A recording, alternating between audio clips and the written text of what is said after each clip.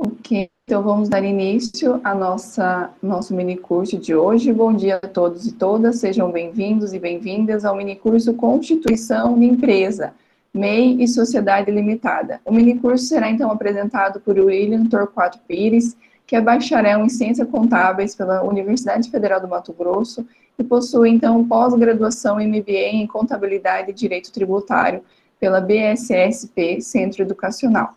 Esse minicurso tem por objetivo trabalhar o passo a passo de como abrir uma empresa, mostrando entre, entre processo, né, ou este processo, através então dos portais da Jusemate e do Redsim. E também aborda a abertura do MEI, né, navegando então pelo portal do empreendedor, explicando as atividades permitidas e os seus limites e enquadramentos, conceitos sobre KNAI e sobre natureza jurídica. Lembro a todos os participantes que nos acompanham neste mini curso que será então disponibilizado ao final um formulário de avaliação do mini curso no chat. Então fiquem atentos, pois esse preenchimento é obrigatório e é através dele então que vocês terão a presença registrada e isso servirá também para a emissão dos seus certificados. O William também irá disponibilizar um formulário para que vocês respondam é, faz parte, então, de uma pesquisa que ele vem desenvolvendo, então ele pede que vocês, posteriormente, também respondam, mas o link será disponibilizado no chat mais ao final da apresentação. Como comentado anteriormente, é, vocês podem direcionar as perguntas ao longo do mini curso, se for conveniente, pedindo a palavra, levantando a mãozinha aqui no botão, ou então deixando por escrito no chat, que eu farei, então, a leitura para o William.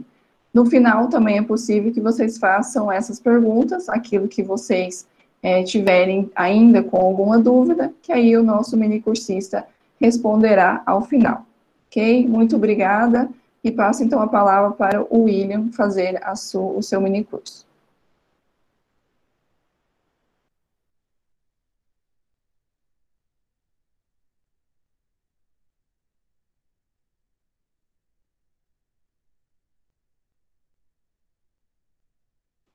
Acho que o áudio está desligado. Perdão, meu, microfone estava desligado. Mas, primeiramente, bom dia para todos vocês. É, para mim, como eu disse, é um prazer estar aqui com todos vocês, mais uma vez participando do nono Conasul.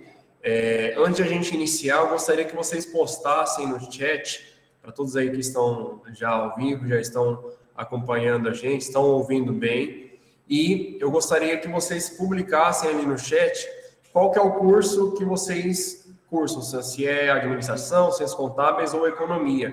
Eu queria só ter essa noção para saber é, com quem nós estamos falando, se é, a maioria é contábeis, a maioria é administração, a maioria é economia. Está vendo aqui que tem administração, Rayane, ciências contábeis, engenharia mecânica, economia, contábeis,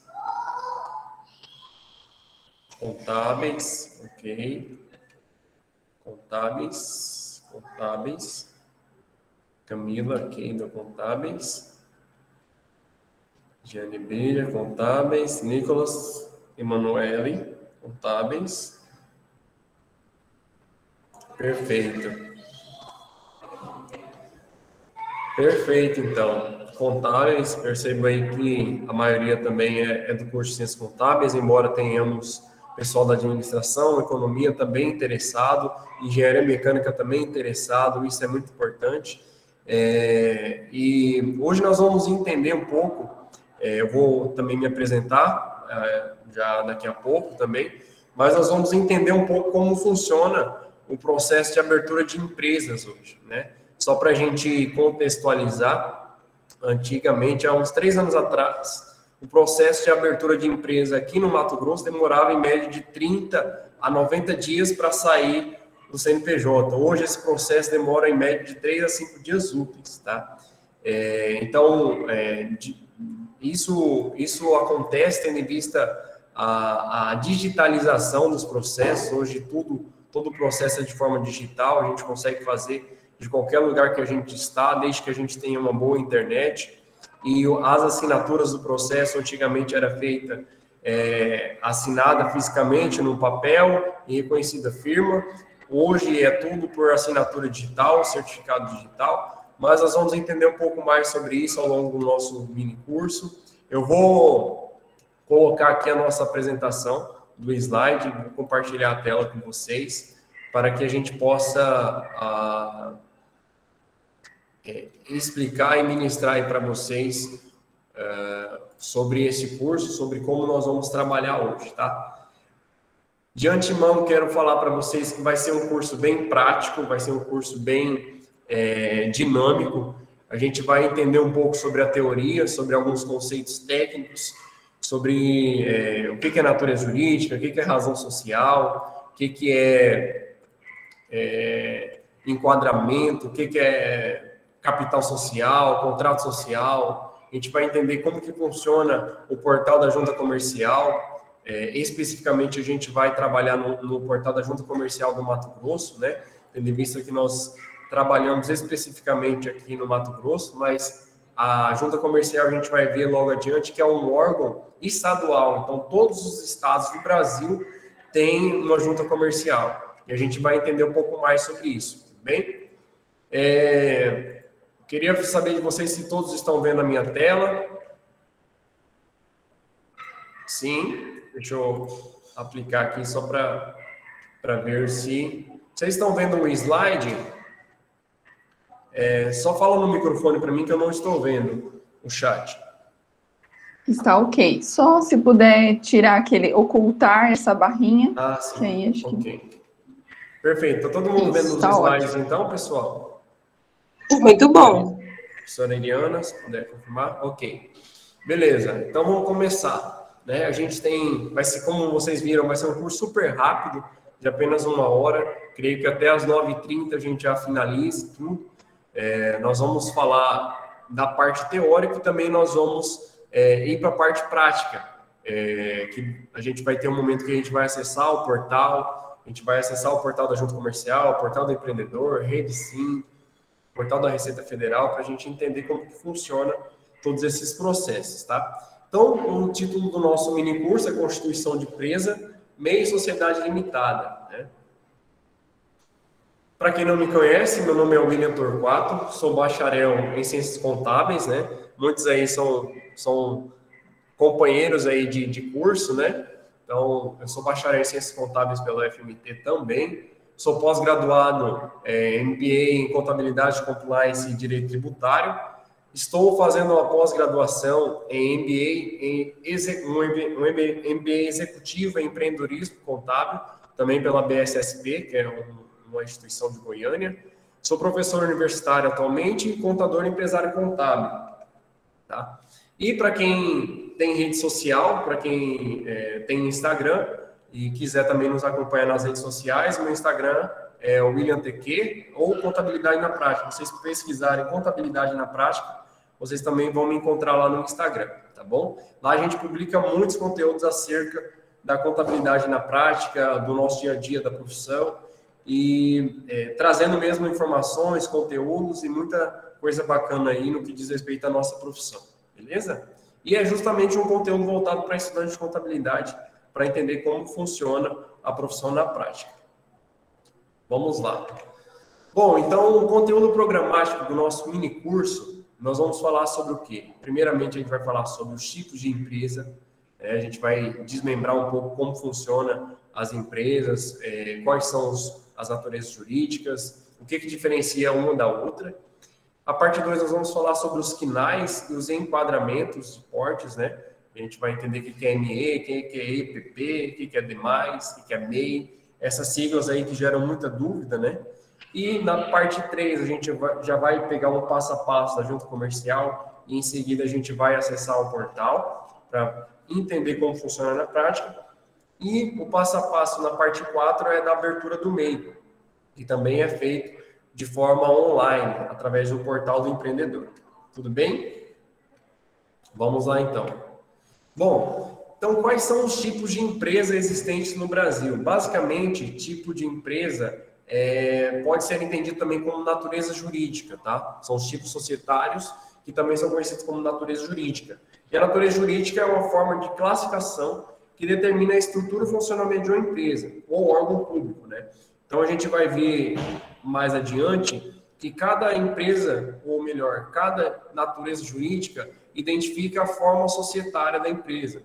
Se é uma fundação privada, se é uma sociedade limitada, se é uma empresa individual, se é um órgão público, tudo isso a gente identifica na natureza jurídica, tá? E a gente vai ver logo, adiante como que, como que isso é na prática, como que a gente pode pesquisar também é, uma melhor natureza jurídica para a empresa que a gente quer abrir, é, como que a gente olha no CNPJ, identifica qual que é o tipo da natureza jurídica de uma empresa, a gente vai ver logo adiante. E qual que é a importância da natureza jurídica? Toda vez que a gente vai abrir um CNPJ, como eu disse, nós precisamos identificar qual que vai ser a natureza jurídica que a gente vai abrir, né? Claro que tem que estar previsto na legislação brasileira, e a gente precisa entender se a gente vai abrir um empresário individual, uma sociedade limitada, uma sociedade de advocacia, ou até mesmo uma autarquia, que, que é possível também fazer abertura. Como que a gente faz essas aberturas também? A gente precisa definir qual que é a natureza jurídica, tá? Então, aqui eu cito alguns exemplos de natureza jurídica existentes no Brasil, os mais utilizados, né, os mais conhecidos, digamos assim. Então, nós temos o empresário individual, nós temos sociedade limitada, sociedade anônima, sociedade simples, sociedade unipessoal de advocacia. É, eu queria ouvir de, de, de vocês, se vocês já ouviram falar de alguma dessas naturezas jurídicas. Podem abrir o microfone e falar sim ou não. A mais comum é a limitada, né, professor? Isso, a mais comum, a mais usual no nosso dia a dia, né? Vocês já ouviram falar das outras também? Ou nunca ouviram? Sim. Sim? Nós vamos entender agora como que funciona cada um. Basicamente, no meio curso a gente vai falar sobre empresário individual e sociedade limitada, que são os mais comuns e que é, são realizados o registro dessa, dessas empresas na junta comercial, ok? Mas cada tipo de, de, de natureza jurídica tem um, um, órgão de registro. Vamos supor, essa sociedade unipessoal de advocacia, o registro dela é feito na OAB, em seguida que nós levamos o processo para a Receita Federal. A sociedade simples, ela também é registrada no cartório. A sociedade limitada, empresário individual e também sociedade anônima são feitas pela junta comercial de cada estado. Eu disponibilizo para vocês aqui também, depois eu vou mandar esse material para vocês, tá? Vai ficar disponível aí, depois a gente pega o e-mail e caminha. Mas aqui é um, uma tabela do CONCLA que contém todas as naturezas jurídicas existentes no Brasil, tá? Desde a órgão público, a fundação privada, a fundação, é, fundações, entidades privadas, é, sociedade limitada, entre outros, tá? Aqui tem a lista completa que vocês podem estar vendo depois. Bom, falando sobre empresário individual. Empresário individual, basicamente, é aquele profissional que exer, exerce em nome próprio a atividade empresarial. Ele atua individualmente, né? Só que o empresário individual, nessa natureza jurídica especificamente, a sua responsabilidade é ilimitada. O que, que é isso, William? Responsabilidade ilimitada é que os bens pessoais eles também é, se confundem com os bens da empresa, ou seja, se a empresa tem alguma dívida, essa dívida também ela pode cair no CPF do sócio, ou seja, é responsabilidade solidária ali com, com as dívidas e as obrigações da empresa, tá? É, então, empresário individual é aquele que é, tem apenas um sócio e também a responsabilidade é ilimitada, ou seja, ele é, responde também solidariamente pelo, pelas obrigações assumidas da empresa. Ok? Sociedade limitada. Já a sociedade limitada é um pouco diferente do empresário individual. A, empresária, a sociedade limitada ela pode ser composta por um ou mais sócios. Até 2019, antes de 2019, a sociedade limitada só era possível abrir uma sociedade limitada com dois ou mais sócios, tá? É, através da lei da liberdade econômica, agora já é possível abrir uma sociedade limitada unipessoal. Nós vamos ver logo adiante um pouquinho sobre a sociedade limitada unipessoal. Tá? E qual que é a diferença da sociedade limitada? ele, cada sócio, ele investe, né? Que esse investimento do sócio, digamos que é o capital social, e a responsabilidade dos sócios é sobre, é, corresponde ao valor do capital social. Ou seja, é, se o capital social da empresa é 10 mil, ou a responsabilidade do sócio, é, que pode é, ser correspondida ao sócio, ele vai ser limitado ao capital social, certo? E essa possibilidade de um ou mais sócios, ela já está prevista no, no artigo 52 do Código Civil, parágrafo 1 desde 2019, tá? Nesse tipo de sociedade, como eu disse, a responsabilidade dos sócios fica limitada apenas às cotas que possuem na empresa.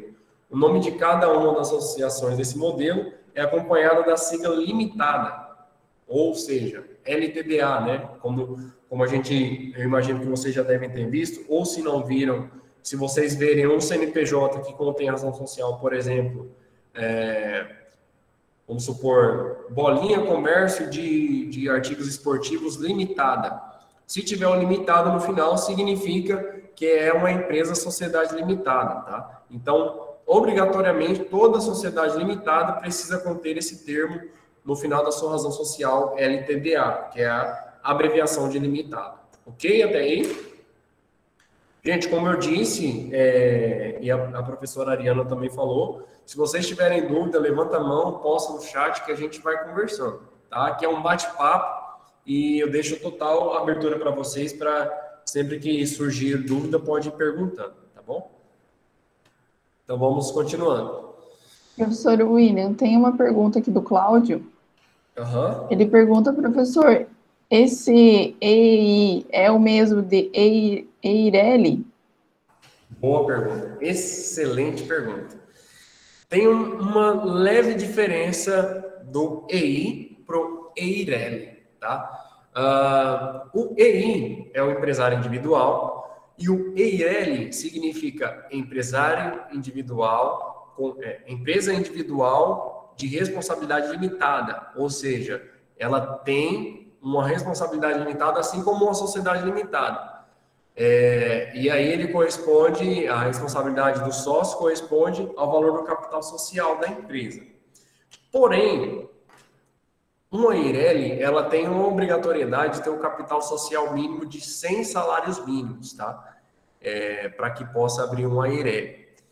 E também vale ressaltar uma informação que já é bastante atual, que é recente, tá? É, que com o advento agora da sociedade limitada unipessoal, já foi é, entendido e também todas as juntas comerciais já entendem que todas as EIRELs agora são sociedade limitada unipessoal, tá? Se vocês forem tentar abrir uma EIREL agora na junta comercial, já não é mais possível, porque ele vai falar que não não existe mais esse, essa natureza jurídica, digamos assim, a partir de agora. Ou seja, você não consegue mais abrir uma AIREL, você vai ter que abrir uma sociedade limitada unipessoal. E qual é a vantagem da sociedade limitada unipessoal? Que ela não tem essa obrigatoriedade de capital social mínimo, tá? Ele pode ter o capital social que o sócio bem entender.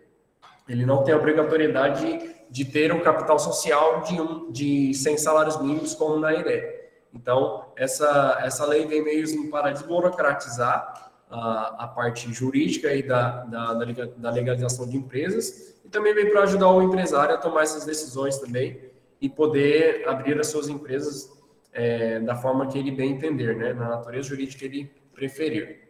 Ok? Era isto. Obrigado, professor. Beleza. Qualquer dúvida, pode ir falando, gente. Ok. Como professor, falei... é, bom dia. É a sociedade dia. unipessoal, ela é utilizada mais por médicos, advogados, engenheiros, os profissionais da área intelectual? Também é utilizada, mas, por exemplo, você pode abrir uma empresa de construção civil sendo uma, uma sociedade limitada no pessoal. Você pode abrir um comércio de, de roupas sendo uma sociedade limitada no pessoal. tá? Ele não, não é para uma atividade específica, digamos assim. Ele pode, é uma natureza jurídica disponível para que você possa abrir a sua empresa. Hoje, é, tendo essa proteção ao seu patrimônio da pessoa física. Ah, tá. Então, se eu sou um MEI, eu posso abrir uma sociedade limitada unipessoal também. Aí nós vamos ver é, essa dúvida do MEI, a gente vai é, ver um pouquinho mais na frente, mas já adiantando, uh, se você tem um MEI, é, não seria possível você abrir uma, uma sociedade limitada, tá? Ao não ser que você fizesse o processo de transformação do MEI para uma sociedade limitada, porque o MEI não pode ter outra empresa no nome, não pode ah, ter tá. Mas, ah, eu posso, então, é, se eu não tenho MEI, eu quero abrir a sociedade essa sociedade limitada unipessoal, ela não exige hoje é, um capital. Ela é, também não tem outras exigências, como número de funcionários e outras coisas. Exatamente, não tem um capital social mínimo. Obviamente que você precisa integralizar algum capital social, é obrigatório, né? Nem que seja 100 reais ou mil reais de capital social é obrigatório, porque é, é, é para você abrir a empresa hoje entende-se que tem um custo, né? Tem um investimento, né? Então, em todos os processos de abertura de empresa, tem que ter um capital social mínimo ali para integralizar. Ah, tá. Mas é possível sim, tá? Vamos supor que ela, no caso, eu, se eu não tenho 100, mas eu tenho 10, eu posso abrir com 10. Sim, exatamente. Porque o, o Eireli, antigamente, o Eireli, ele tinha essa obrigatoriedade de 100 salários mínimos, né? Mas a sociedade limitada unipessoal já tirou essa exigência, que agora ele não tem capital social mínimo, tá? Ah, tá. Perfeito? Uhum, tá, obrigado, professor. De nada. Vamos nos falando. Perfeito, então, gente. Então, como eu falei para vocês, essa sociedade limitada é algo bem recente, tá? Ela foi aprovada uh, em 2019 através da Lei da Liberdade Econômica. É, ela iniciou como uma medida provisória e depois foi convertida em lei, essa Lei 13874 2019, que criou essa nova modalidade empresarial que permite o empresário abrir a sociedade limitada, é, com, a mesmo, com os mesmos direitos à sociedade limitada, com mais de um sócio, só que agora você pode abrir sozinho, digamos assim, você não precisa ter um outro sócio para abrir uma sociedade limitada, você pode abrir uma sociedade limitada unipessoal e sem a exigência de um capital social mínimo. Okay? Beleza, gente, tudo, bem, tudo bem até aí? Alguém falou alguma coisa? Professor, a Unipessoal ela tem uma sigla? Não, ela vai ser LTDA. Ah, ok. Tá? Por exemplo, vamos, vamos dar um exemplo aqui. O meu nome é William Torquato Pires, vamos supor. Eu posso abrir a empresa William Torquato Pires Limitada. Tá? Aí ela vai, o que vai identificar vai ser o LTDA ali no final da minha razão social. Oi, professor. Bom dia. Bom dia. É, muito provavelmente o senhor mencionará algo a respeito mais para o fim, mas quais as vantagens da, de um em relação ao outro, no caso do MEI e da sociedade limitada unipessoal? Quem é mais vantajoso nessa situação? Isso aí vai depender é, de duas coisas, na verdade. Vai depender da sua necessidade, que a gente vai ver logo adiante que o MEI tem algumas limitações, né? O MEI tem limite de faturamento, limite de é, funcionários, tem também atividades específicas que podem ser enquadradas como MEI, não é todo mundo que pode ser MEI. Um exemplo, contador não pode ser MEI, tá, amigos? Contadores, aí futuros contadores, você não pode ser MEI, tá? É, mas você pode ser um empresário individual. A diferença do sociedade limitada para o empresário individual ah, digamos assim, é basicamente na, na questão da responsabilidade a respeito das obrigações da empresa, né? Que é, no empresário individual, o seu patrimônio, ele, ele não, não, digamos assim, não é separado da empresa, né? Ele, por exemplo, se a, a empresa tiver alguma dívida, ah, seja tributária ou trabalhista, ela vai recair sobre o CPF do sócio, caso a empresa não conseguir pagar. Só que a sociedade limitada ela já, já protege nesse sentido e limita o capital social. Aí a gente vai ver mais na frente também a questão do MEI, que daí você vai ver se vai compensar você abrir um MEI inicialmente, ou se você vai já abrir uma sociedade limitada ou um empresário individual. Tudo vai depender da sua realidade, tá? Mas é, posso dizer que não tem uma melhor que outra, vai depender da situação específica que precisa ser analisada. Ok, entendi. Tá? Beleza. Beleza, então vamos para frente. Até, tudo bem até aí? Ok, beleza. Então, a gente vai entender também o que é razão social e nome fantasia, tá? A, a básica diferença da razão social e nome fantasia. Razão social é o nome de registro da empresa, é, é ela que consta nos documentos legais, no CNPJ, nos contratos, nas escrituras, entre outros documentos legais da empresa, tá? É ela que vai estar constando ali no nome empresarial, também conhecido como nome empresarial ou firma empresarial. E o nome fantasia é o nome de fachada ou a marca empresarial. É, claro que só uma diferença, a razão social tem toda uma, uma estrutura que precisa ser seguida. Vamos supor, questão da empresa limitada. A empresa limitada precisa ter ela pode ser ou um nome abreviado com o final limitada, com o termo LTDA no final, ou um nome da empresa mais atividade da empresa com final limitada. Vamos supor, é, Coca-Cola Indústria de Bebidas Limitada, ou seja, vai estar o nome da empresa, vai estar o tipo da atividade da empresa e o limitada no final, que é o termo que identifica que a natureza jurídica dela é limitada. Já o nome fantasia é a marca da empresa, é o nome de fachada, é aquilo que vai lá na fachada da empresa, que serve para divulgação, nome popular. Vamos colocar o exemplo da Coca-Cola. A razão social da Coca-Cola é Coca-Cola Indústria de Bebidas Limitada, vamos supor. Só que o, o nome fantasia da Coca-Cola é Coca-Cola, simplesmente, ok? É o nome da marca, é o nome fantasia, é aquilo que vai na fachada, nas embalagens. É, é basicamente esta a diferença, tá? O que, que é KINAI? KINAI, você é, posta, posta aí no chat ou abre o microfone para falar. Vocês já ouviram falar dessa palavra, KINAI, dessa sigla? Sim?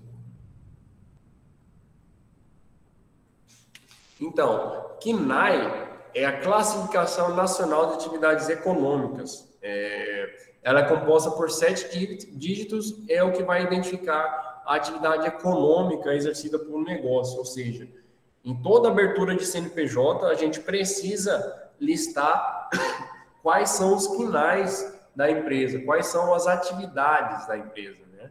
Então, vamos supor, aqui está um exemplo de um KINAI. É, atividade de contabilidade, né? Vocês percebem que são sete dígitos, tá? Sete dígitos que compõem a estrutura do KNAI e na frente vai estar o nome da atividade, atividade de contabilidade. Assim como qualquer outro tipo de atividade vai ter previsto um KNAI, tá? Então, o KNAI é importante para identificar qual é a atividade da empresa, qual é a atividade exercida por um negócio. Tudo bem? Então, aqui está a estrutura do KINAI, tá, gente? Lá no, nesse site aqui do Concla IBGE, a gente tem todos os KINAIs é, existentes né, no, no, no hall de atividades e aqui está a estrutura do KINAI. Você vê que tem seção, atividades profissionais, divisão, atividades jurídicas de contabilidade, que é o número 69, o grupo 692, atividades de contabilidade, a classe 6920 atividade de contabilidade, e a subclasse, que é o último nível, que é a 6920 que é atividade de contabilidade, tá? Se vocês quiserem, né, é, pesquisar no Google é, esse, esse, esse portal de busca KINAI, vocês vão encontrar todos os KINAIs existentes. Ou até, por, por exemplo, uma consulta mais prática, colocar é, KNAI atividade de contabilidade. Aí já vai aparecer lá na pesquisa do Google o, o KNAI exato, já vai aparecer o link lá. A gente pode até ver esse KNAI é, aqui nesse site, esse Compla IBGE, que a gente vai é, conseguir visualizar ele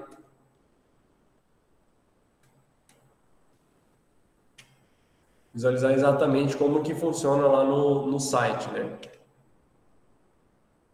Então aqui a gente vai buscar o KINAI. Beleza. Aqui é o site, você pode buscar aqui, vamos por atividade de contabilidade e buscar.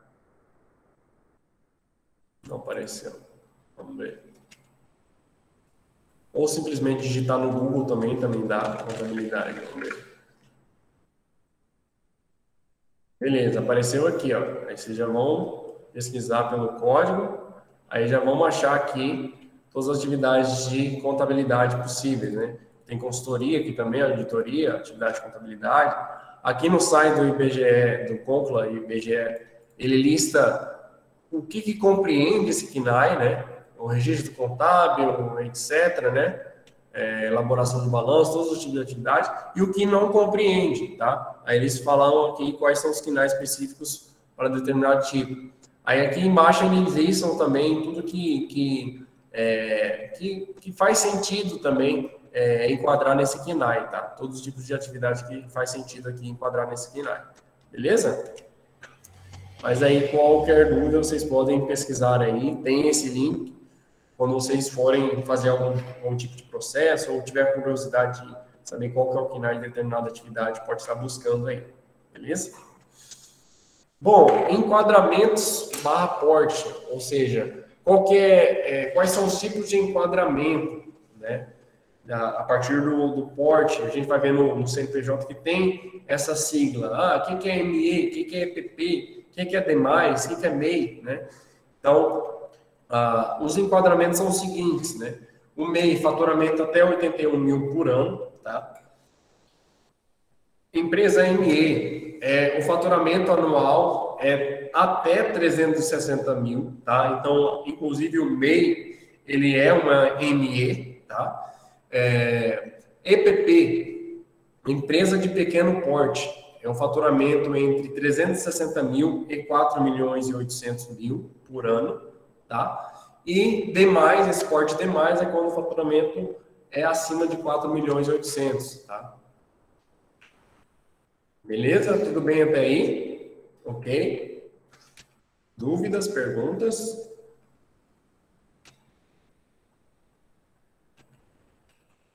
Beleza, então.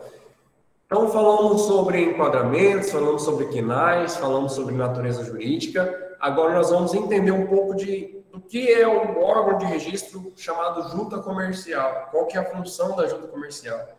Postem aí no chat se vocês já ouviram falar sobre a junta comercial, se sabem o que significa, se não sabem o que significa, se já ouviram falar algum momento. Enfim, é o que nós vamos entender agora.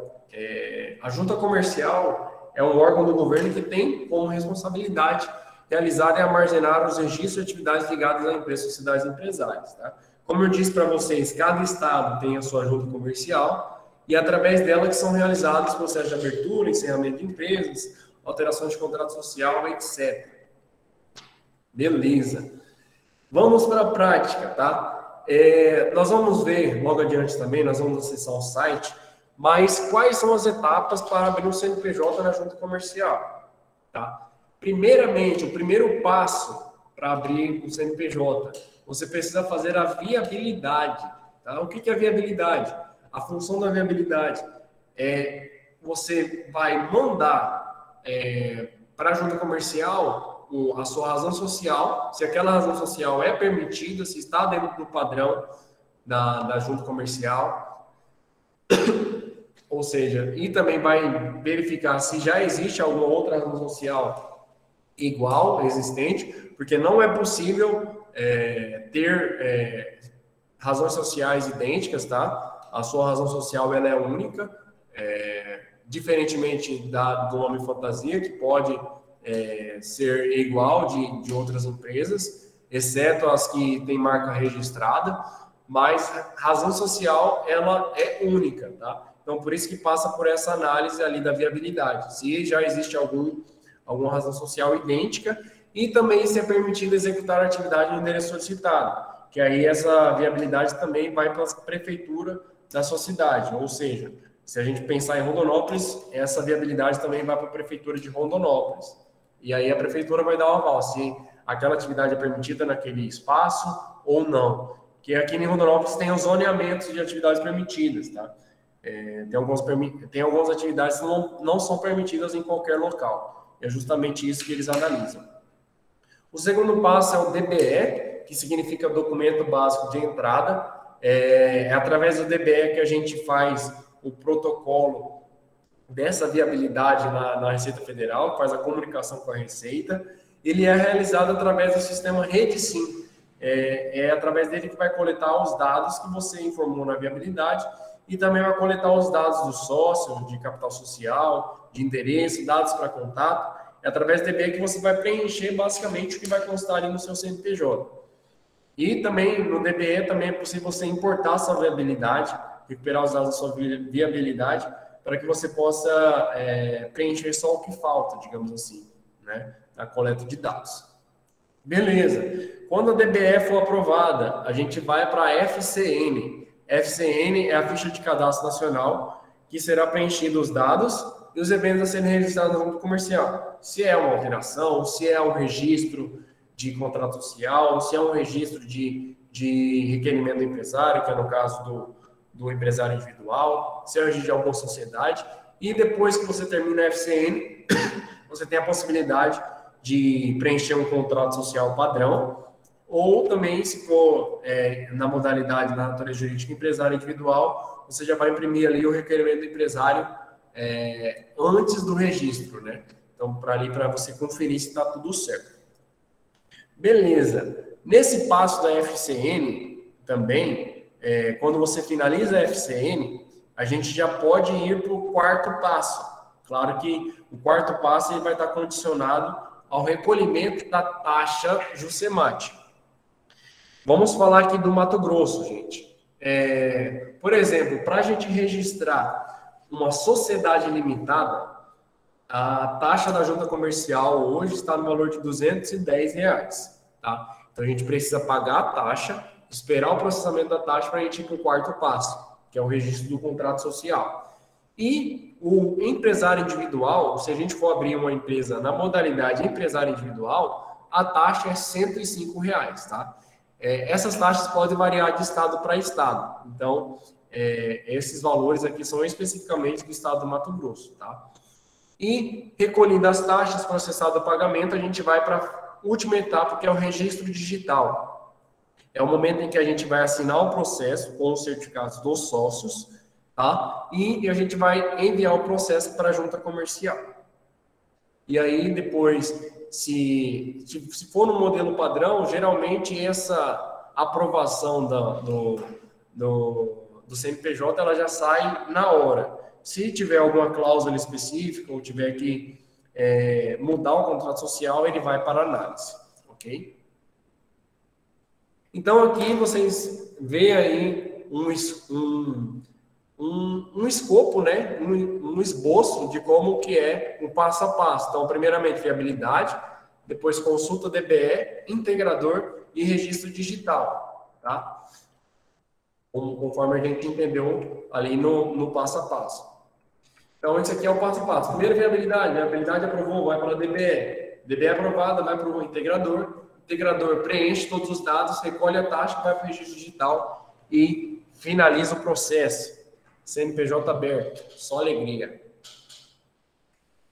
E quais são os documentos necessários para abrir um CNPJ hoje na junta comercial? E isso falando do estado do Mato Grosso, tá, gente?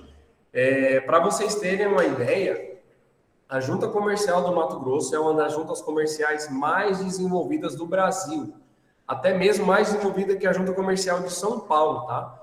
É, a junta comercial de São Paulo hoje ainda boa parte dos processos ainda são físicos, ainda tem que ir lá na sede protocolar. É, inclusive, eu tive um caso em que eu tive que trazer uma empresa de São Paulo para Mato Grosso. O processo de alteração demorou quase 90 dias para ser deferido, que vai, volta, da exigência, volta. E se fosse aqui no Mato Grosso, não demoraria mais do que cinco dias, porque é tudo digital. Então, a junta comercial no Mato Grosso ela é uma das mais desenvolvidas do Brasil por ter o seu processo inteiramente 100% digital. Então, os documentos pessoais dos sócios, são é, imprescindíveis para a gente colocar lá, porque nós precisamos preencher. Comprovante de endereço pessoal dos sócios. Claro que lá no preenchimento do contrato também tem informação do estado civil, é, entre outras informações, local de nascimento, mas tudo isso a gente consegue colher pelo RG e CPF do, do, do titular ou do sócio. Precisamos da cópia do IPTU do estabelecimento, que a cópia do IPTU ela é, é para análise do, do endereço, então precisa ter um IPTU no estabelecimento para enviar o processo. Sem o IPTU não envia, a junta comercial não aceita se a gente não colocar o número da inscrição imobiliária, tá? E muitos me perguntam, ah, para que serve a cópia do IPTU? Gente, é, o contador não quer saber se o cara está devendo IPTU. Ele só quer saber o número da inscrição imobiliária para saber qual que é a área do imóvel, para pegar o BCM do imóvel. Então, o BCI do imóvel, para saber exatamente conseguir preencher lá o processo. E o certificado digital ECPF. O que, é ECPF? Quer dizer que é da pessoa física, tá, gente? Então, o certificado digital do sócio, pessoa física, do modelo A1 ou A3, tá? A1 é o arquivo, A3 é o cartão ou token. Tudo bem até aí? Dúvidas, perguntas? Podemos ir para a prática? Sim ou não? Então vamos para a prática, então? É, vocês estão vendo a minha tela, né? Deixa eu ver aqui o chat. Pois, tudo ok, beleza. Perfeito. Sim, a tela está aparecendo, professor. Beleza.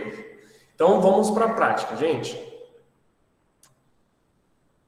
Primeiramente, a gente precisa acessar o site da Junta Comercial do Mato Grosso, que é esse site www.jusemate.mt.gov.br, tá? E a gente vai entrar aqui em Portal de Serviços, acessar com gov.br. Aqui, nesse momento, você vai acessar com a sua conta gov.br mesmo, tá? Eu vou entrar com a minha aqui, pessoa física. Vou colocar a minha senha, pode ser com o seu certificado digital também. E aqui, como eu mandei, como coloquei no, no, no slide, aqui está o passo a passo do, do processo. Então, vamos aqui simular a viabilidade, né? A gente vai começar a abrir a empresa. Primeiro passo, viabilidade, tá? Vamos aqui, nova viabilidade. Inscrição de primeiro estabelecimento, tá? Eventos de inscrição. Se fosse alteração, seria aqui embaixo inscrição de primeiro estabelecimento. Se vocês quiserem acompanhar, pode acompanhar. Ou se estiverem no computador também, pode acompanhar junto. Aí aqui a gente seleciona um enquadramento, que é aquilo que nós identificamos lá, se é ME ou se é. Aqui a gente prevê se vai ser uma ME ou um MPP, tá? E aqui a gente vai selecionar qual que é a, a, a natureza jurídica da nossa empresa. Então, sociedade limitada aqui nesse caso. Aí aqui tem os outros órgãos de registro, quando é cartório, OAB, só que aí o processo da viabilidade é, é só feito o processo de viabilidade, mas o registro é em outro órgão. Então, vamos colocar aqui o CEP do local, um CEP fictício, tá? A gente vai só ver aqui como que é na prática isso. Aqui vou colocar o CPF do sócio.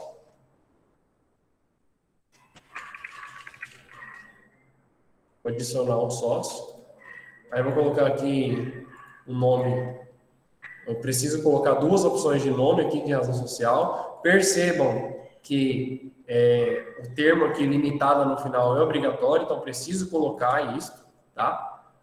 É, objeto social, o que é objeto social? Vai ser basicamente a descrição dos quinais, é, simplesmente, e se tiver alguma, alguma atividade complementar que não esteja descrito no final, você vai digitar aqui, tá?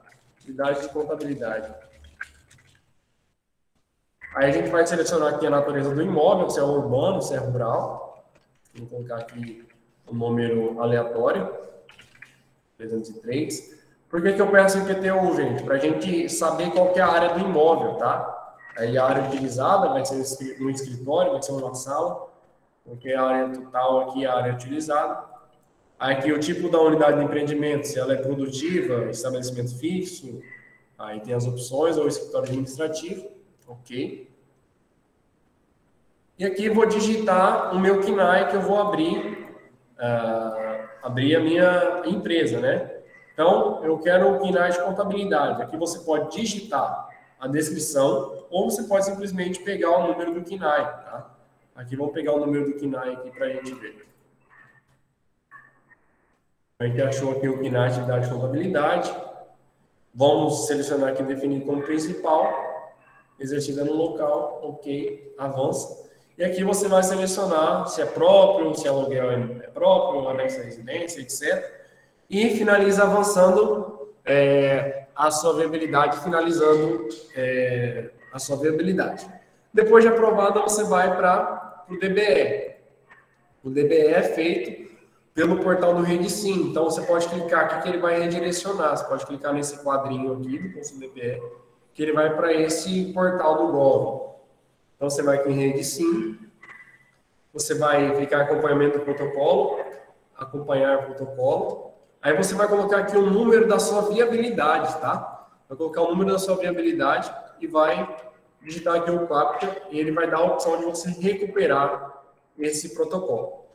Finalizado o DBE, vai aparecer, é, vai ter um documento para você imprimir do DBE.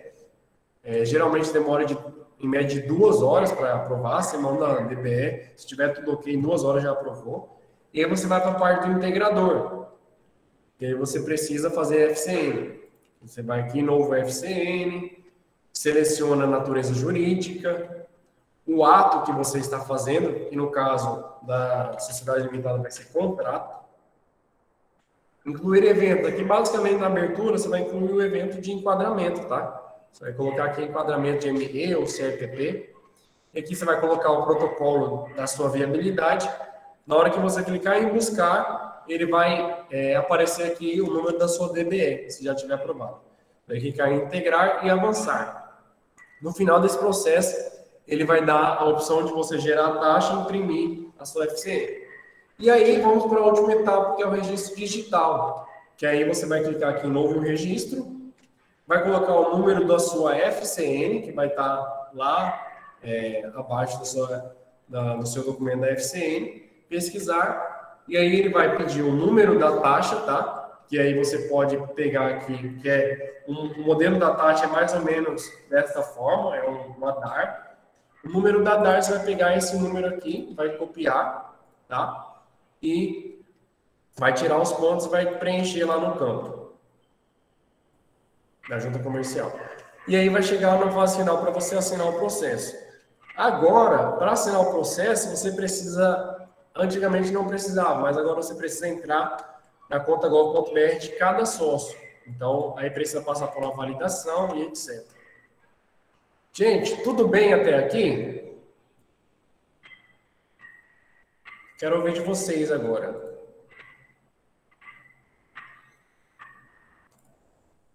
Tem alguma dúvida? Alguma dúvida sobre essa parte da junta comercial? Tranquilo para todos? Pode mandar no chat, que agora eu estou vendo o chat. Só manda um sim aqui, tranquilo. Aqui a pergunta do Marcos Antônio. Qual o porte da EI em faturamento? Então, o empresário individual, ele pode ser uma ME, pode ser uma EPP ou pode ser demais, tá? É, a única questão é o MEI. O MEI ele tem um limite de até 81 mil, mas para ser empresário individual não tem limite de faturamento, tá? Vai depender do seu faturamento, ok? Aí você vai enquadrar se ela é ME, se é EPP, ME até 360 mil, EPP até 4 milhões e 800 tá? É, ok. Então vamos, só para a gente finalizar, já está acabando o nosso tempo. Vamos aqui abrir, gente, o portal do empreendedor, tá? Antes, antes de abrir o portal do empreendedor, quero só falar rapidamente aqui sobre o MEI, tá? Então, como eu falei para vocês Deixa eu só apresentar a tela, apresentando, apresentar minha tela aqui para vocês. Já finalizando o nosso mini curso. Ah, falando, vocês estão vendo aí o slide, né? Então, o MEI, ele significa microempreendedor individual, ele é um modelo empresarial simplificado, tá?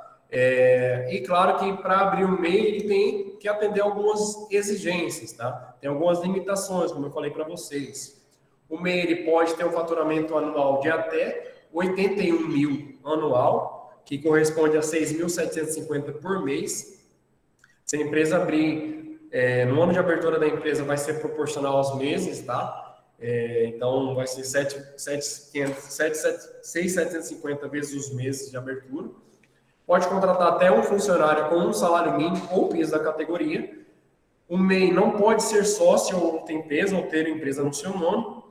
O MEI não pode ter sócio no MEI, tá? Porque ele é um microempreendedor individual, tá? E também não pode ser MEI quem exerce atividades intelectuais, tais como médico, engenheiro, dentista, advogado, psicólogo, entre outros, contador também. E aqui tem um link da das ocupações permitidas para enquadramento no meio. Então, aqui nesse link, nesse portal, você vê tudo que pode ser enquadrado no meio, tá? Os quinais, aqui o tipo de. de aqui está o quinai, o tipo do, da ocupação. Você tem aqui por ordem alfabética, através desse link vocês podem acessar, tá?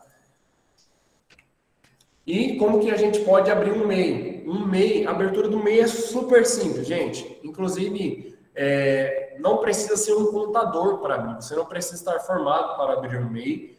É, qualquer pessoa pode abrir um MEI, é, diferentemente de uma sociedade limitada, que nesse caso já precisa do contador. Mas o MEI, inclusive estudante de contabilidade pode abrir MEI, é, administrador pode abrir MEI, não precisa ter um registro numa, numa entidade de classe para abrir um MEI. Então você entra nesse link aqui do portal do empreendedor, quero ser MEI, Tá? Aí você vai aqui em formalize-se nesse, nessa, nessa item aqui e vai é, pedir aqui a sua conta gov.br. Aqui já está logado numa conta gov.br, certamente é a minha. É, a minha, por ter empresa no meu nome, já vai dar um erro aqui, ó. Vocês podem ver aqui, ó, por exemplo, se eu clicar em formalize-se,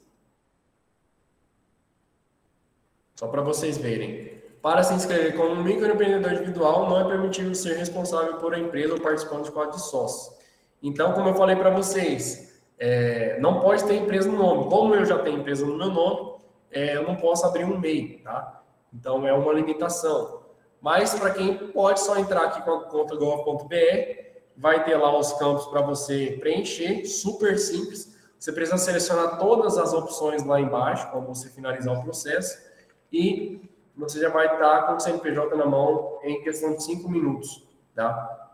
E aí você imprime seu CNPJ e seu car cartão comprovante de e-mail.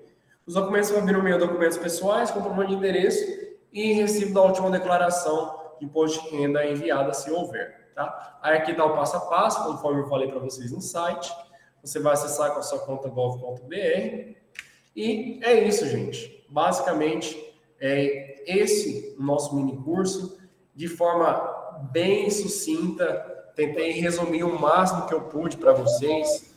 O professor, esse material, é, o senhor pode disponibilizar para nós? Claro Inclusive que sim. os, os sites, se puder jogar esses sites aqui no, no chat, me Uhum. ajuda. Eu vou pedir para vocês mandarem um e-mail de vocês aqui no chat, é, se possível. Não sei se a professora Ariana também tem, mas se vocês Eu posso disponibilizar a lista dos inscritos Ah, depois. perfeito, o William acho que perfeito. fica mais fácil, né? Do que É, é muito para colocarem. colocar no chat. Perfeito. São 53 pessoas online agora, nesse momento. Aham. Então, eu passo a lista depois, para que possa, então, ser feita o compartilhamento do material. Perfeito, gente. É, então, eu vou mandar no e-mail de vocês, tá? Esse slide. Nos slides contém todos os links, tá, gente? Vai conter um link do portal do empreendedor, vai conter um link do portal da junta comercial. Então, vai estar tudo lá para vocês. Tabela de KINAI, tabela de ocupação permitida do MEI. Então, vai estar tudo disponível para vocês, tá? É, e assim, eu queria também aqui é, reforçar o convite para vocês Vou colocar aqui no chat e também vou mandar também no e-mail depois o link da pesquisa é, que a gente está realizando é, sobre a profissão contábil em si na ótica do estudante de contabilidade, tá? No estudante de contabilidade, em, é, principalmente estudante de contabilidade, mas também de outras profissões, mas estritamente na parte é, de contabilidade, esse é o link aqui no chat de uma pesquisa que a gente está fazendo para entender como que é a realidade do estudante hoje, é, o que, que ele pensa a respeito da profissão, como ele se vê daqui a um, dois, três anos, quando estiver formado, tá? E essas informações são muito importantes para que a gente possa é, continuar aí publicando conteúdos, desenvolvendo materiais aí para estudante de contabilidade. E aí vocês podem estar é, tá respondendo essa pergunta. É, um, é uma, um questionário que vocês respondem em um minuto. Não, não vai tomar muito tempo de vocês, é super rápido. Além do questionário aí de, de presença que a professora Ariana solicitou. No mais é isso, gente. Nove e meia pontualmente. Eu agradeço a atenção de todos vocês. Espero ter colaborado de alguma forma. É, se vocês tiverem interesse, nós temos o nosso Instagram. É, se vocês digitarem lá no Instagram, Contabilidade na Prática, vocês vão nos encontrar. Lá a gente publica muito material sobre a contabilidade na prática, sobre é, cálculos é, de diversas formas, é, trabalhista, de impostos, é, nota fiscal. Tem muito conteúdo sobre a nossa profissão na prática. Se vocês tiverem interesse, podem nos seguir, tá? Tem muito conteúdo bacana. E vamos nos falando. Qualquer coisa, é, tem o nosso e-mail, tem o nosso, nossas redes sociais. No slide tem os links também que vocês podem entrar em contato. E a gente continua à disposição aí de vocês, de, de cada aluno que esteve presente aqui hoje. E à disposição também, professora, da universidade. Sempre que precisar, nós estaremos à disposição aí para compartilhar um pouco do nosso conhecimento e da nossa vivência diária aqui na profissão. Muito obrigada, professor William, pela, pelo minicurso, por compartilhar o seu conhecimento com todos. É, só reforçando, é, eu peço que todos os participantes respondam um formulário que eu disponibilizei no chat. É, esse formulário é obrigatório para que vocês possam receber o certificado e também que confirme a presença de todos neste minicurso. Ok? Então, eu peço que já entrem, né, para não perder aí o link. É, dando então o um encerramento, fazendo o um encerramento dessa atividade, deste mini curso, gostaria de agradecer a todos e a todas que nos acompanharam e puderam aprender com este mini curso. Também quero agradecer ao professor William por compartilhar conosco seus conhecimentos. Agradeço também a organização do evento e a equipe de apoio que vem dando o suporte técnico. Muito obrigada e desejo um excelente dia a todos e a todas. Nós que agradecemos. Sucesso para todos, gente. Grande abraço.